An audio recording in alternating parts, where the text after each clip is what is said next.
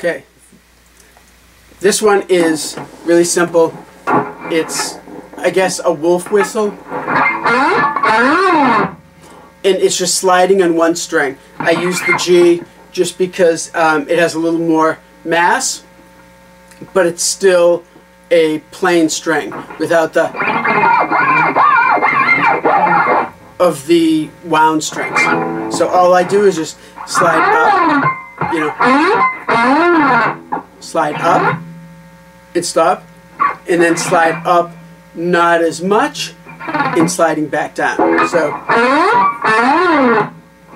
simple. Couldn't be easier.